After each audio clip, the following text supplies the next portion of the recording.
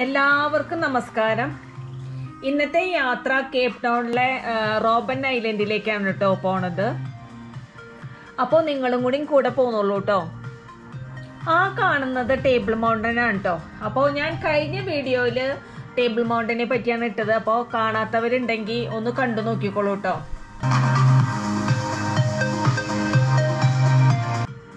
പിന്നെ കേപ് ടൗണിൽ വരാൻ ആഗ്രഹിക്കുന്നവർ ഈ ടേബിൾ മൗണ്ടനും പിന്നെ റോബൻ ഐലൻഡും കാണാനായിട്ട് വരുമല്ലോ പോകുമല്ലോ അപ്പോൾ ഇവിടുത്തെ വെതർ ഒന്ന് ചെക്ക് ചെയ്യണം. എന്നിട്ട് ടിക്കറ്റ് ബുക്ക് ചെയ്യാൻ പാടുള്ളൂ. ഇല്ലെങ്കിൽ കാറ്റും മഴയൊക്കെ ആണെങ്കിൽ ഈ രണ്ട് സ്ഥലത്തേക്കും നമുക്ക് പോവാൻ പറ്റില്ല കേട്ടോ. ഇന്നിപ്പോൾ ഭാഗ്യത്തിന് നല്ല കാലാവസ്ഥയാണ് അപ്പോൾ അതുകൊണ്ടും കൂടിയാണ് കേട്ടോ ഞങ്ങൾക്ക് പോവാൻ പറ്റിയത്.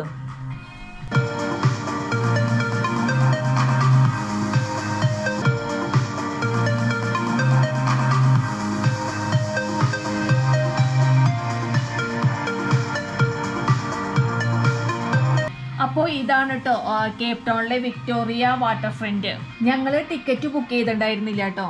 അപ്പോൾ ഇവിടെ പാർക്കിംഗ് ചെയ്ത് ഞങ്ങൾ ഓടി അലച്ച് പോയി.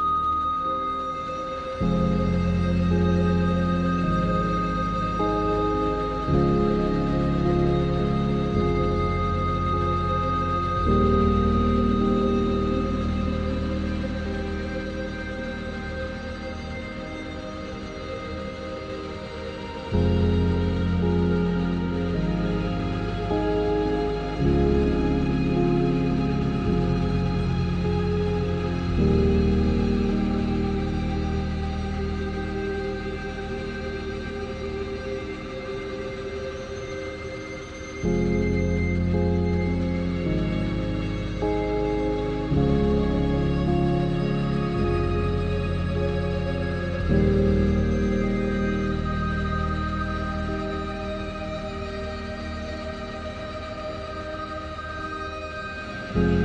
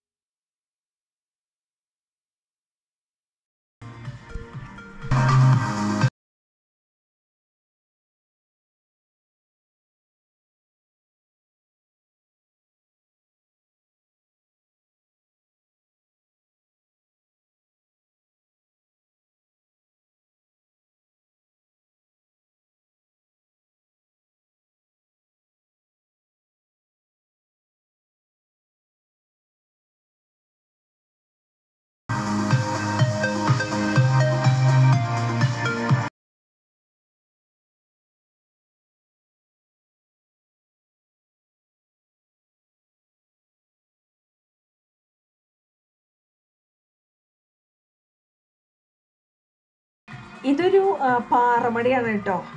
അപ്പോൾ അന്ന് ജയിലിൽ കിടന്ന പ്രിസനേഴ്സൊക്കെ ഈ പാറമടയിലാണ് കേട്ടോ ജോലി ചെയ്തുകൊണ്ടിരുന്നത്.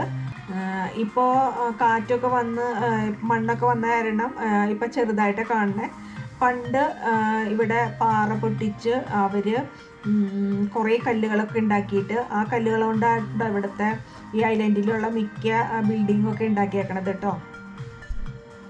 പിന്നെ പാറമടയെ പറ്റി പറയുകയാണെങ്കിൽ ഭയങ്കരമായിട്ട് കഠിനമായിട്ടുള്ള ശിക്ഷകളും കഠിനമായിട്ടുള്ള ജോലികളും ഒക്കെ ആയിരുന്നു കേട്ടോ അന്നത്തെ കാലത്ത് ഇവിടുത്തെ പ്രിസനേഴ്സിന് കൊടുത്തിരുന്നത്.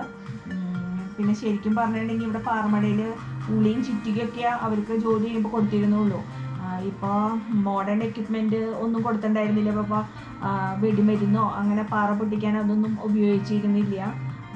പിന്നെ ഇവർ പാറ പിടിക്കുമ്പോൾ ഈ പാറയുടെ ചീളും ഒക്കെ കയറി കണ്ണിന്റെ കാഴ്ച പോയി പോയ ആൾക്കാരൊക്കെ ഉണ്ട് കേട്ടോ അതുപോലെ നെൽസൺ മണ്ടേലയുടെയും കണ്ണിന്റെ കാഴ്ചയൊക്കെ കുറഞ്ഞ് പാറക്കാഷ്ടമൊക്കെ ഇങ്ങനെ ചുറ്റുകൊണ്ട് അടിക്കുമ്പോൾ തെറിക്കൂലോ? അങ്ങനെ തെറിച്ച് കണ്ണിലേക്കൊക്കെ ഇതാക്കി പിന്നെ ആളുടെയൊക്കെ ഓപ്പറേഷൻ ചെയ്യേണ്ടിയൊക്കെ വന്നിട്ടുണ്ട് കേട്ടോ പിന്നീട് ജയിലിൽ നിന്ന് പുറത്തേക്ക് വന്നതിന് ശേഷം. പിന്നെ ഈ പാറപ്പൊടി അടിച്ചടിച്ച് ഇഷ്ടംപോലെ ടി ബി പേഷ്യന്റ് ഉണ്ടായിരുന്നു കേട്ടോ അന്നത്തെ കാലത്ത്. നെൽസൺ മണ്ടേലയും ഒരു ടി ബി പേഷ്യന്റ് ആയിരുന്നു കേട്ടോ ആളുടെ ലങ്സിൽ വെള്ളം കെട്ടലൊക്കെ ആയിരുന്നു.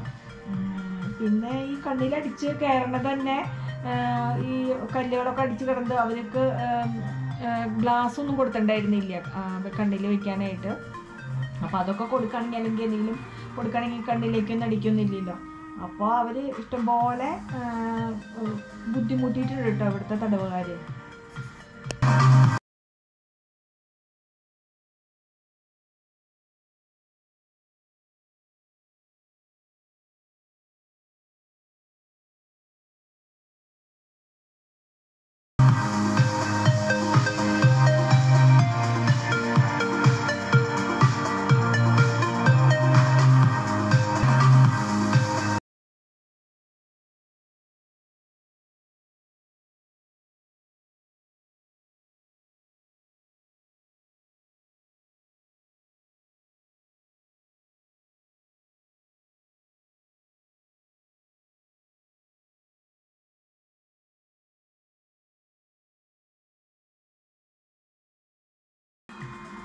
ഇത് ഈ ദ്വീപിന്റെ ഒരു അറ്റമാണ് കേട്ടോ ബസ് ഇവിടെ കുറച്ച് നേരം ഇടും. പിന്നെ ഇവിടെയാണെങ്കിൽ റെസ്റ്റോറന്റും ടോയ്ലറ്റ്സും ഒക്കെ ഉണ്ട്. ഇപ്പോൾ നമുക്ക് ഭക്ഷണമൊക്കെ വാങ്ങിച്ച് കഴിക്കണമെന്നുണ്ടെങ്കിൽ ഇവിടെ നിന്ന് ഭക്ഷണം വാങ്ങിച്ച് കഴിക്കാം. പിന്നെ അതുകൂടാതെ ഇവിടെ ഒരു ലൈറ്റ് ഹൗസ് ഉണ്ട് കേട്ടോ. ഇപ്പോൾ കൊറോണയൊക്കെ ആയ കാരണം അത് ക്ലോസ് ചെയ്തിട്ടേക്കാം. അതുകൊണ്ട് നിങ്ങളത് കാണിച്ചു തരാൻ പറ്റില്ല കേട്ടോ.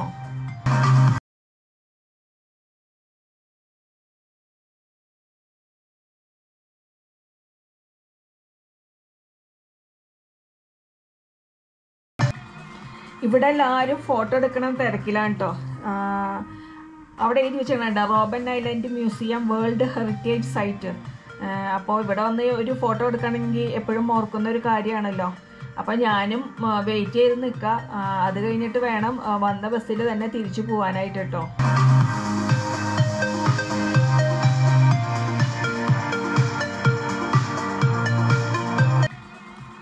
പിന്നെ ഇവിടെ ഇഷ്ടംപോലെ പെന്റിങ്സ് ഉണ്ട് കേട്ടോ ഒരു പത്ത് നാലായിരത്തോളം ഉണ്ട്. ഇപ്പം ഞാനതൊന്നും ഇപ്പോൾ തപ്പിപ്പോയില്ല കാണാനായിട്ട്.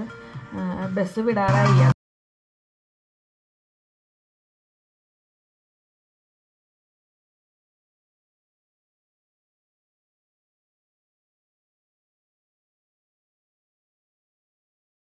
അപ്പോൾ ഈ സൈഡിൽ കാണുന്നതൊക്കെ ഇവിടെ അന്നത്തെ കാലത്ത് ഉണ്ടായിരുന്ന ഓഫീസേഴ്സിന്റെയും സ്റ്റാഫിന്റെയും ഒക്കെ വീടുകളാണ് കേട്ടോ അതിന്റെ കൂടെ തന്നെ കഠിന തടവിനൊക്കെ ശിക്ഷിച്ച ക്രിമിനൽസൊക്കെ ഉണ്ട്. അവരുടെ ജയിലുകളൊക്കെ ഇതിന്റെ ഇടയിലുണ്ട് കേട്ടോ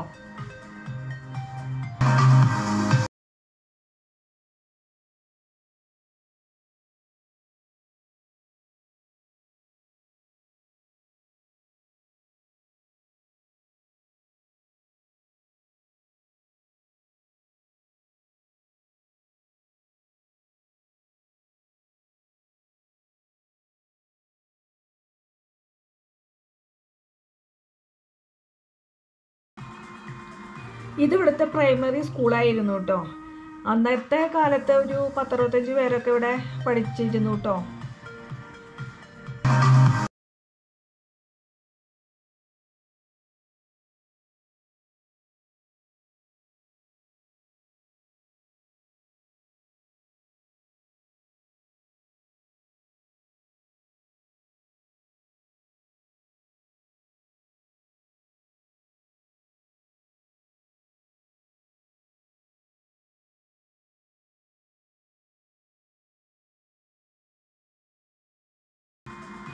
ഇത് റോബൻ ഐലൻഡിൽ പഴക്കം ചെന്ന ഒരു പള്ളിയാണ് കേട്ടോ. ആയിരത്തി എണ്ണൂറ്റി നാൽപ്പത്തി ഒന്നിൽ ഉണ്ടാക്കിയ ഒരു പള്ളിയാണ്. ചിലർക്കൊക്കെ മാരേജിനെ പറ്റിയൊക്കെ പല ഡ്രീമൊക്കെ ഉണ്ടാവുമല്ലോ.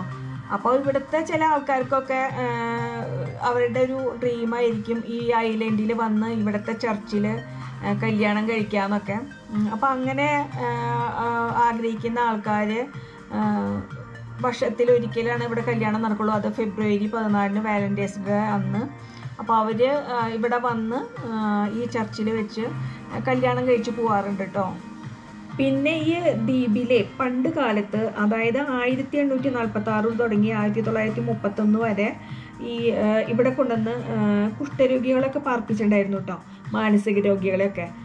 പിന്നെ എന്താ വെച്ചിട്ടുണ്ടെങ്കിൽ കുഷ്ഠരോഗികളെ കൊണ്ടുവന്ന് ഇവിടെ താമസിപ്പിച്ച് അവർക്ക് വേണ്ട ട്രീറ്റ്മെന്റും ഇതൊക്കെ കൊടുത്ത് അവരെ മറ്റുള്ളവരെ മാറ്റി പാർപ്പിക്കുക ചെയ്തതെന്ന് വെച്ചിട്ടുണ്ടെങ്കിൽ മറ്റുള്ളവർക്ക് കുഷ്ഠരോഗമൊന്നും വരാതിരിക്കാൻ വേണ്ടിയിട്ട് കേട്ടോ.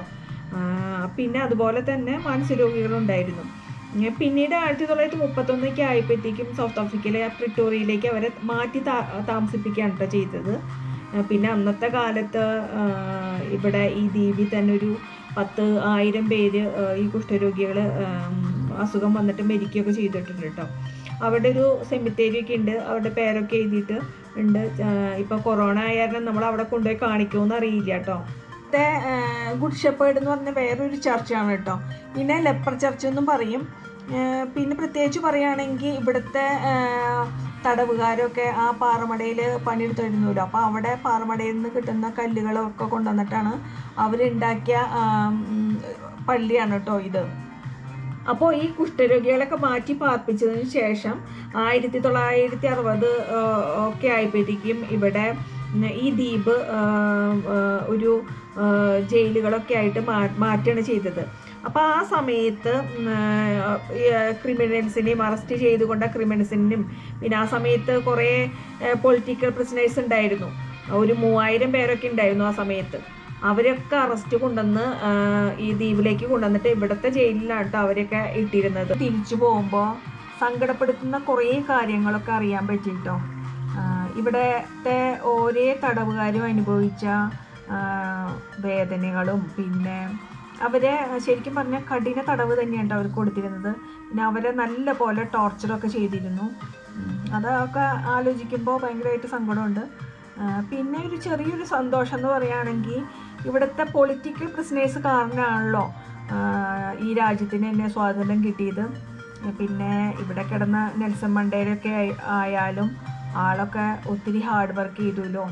അപ്പോൾ അതൊക്കെ ആലോചിക്കുമ്പോൾ ചെറിയൊരു സന്തോഷം കൂടി ഉണ്ട് കേട്ടോ. പിന്നെ ഈ റോബൻ ഐലൻഡിലെ സ്റ്റോറി പറയുകയാണെങ്കിൽ കുറേ ഉണ്ട് പറഞ്ഞാലും തീരില്ല. അത്രയ്ക്ക് സ്റ്റോറികളുണ്ട് കേട്ടോ. പക്ഷെ ഞാനത് ഷോർട്ടാക്കിയിട്ടാണ് പറഞ്ഞത്.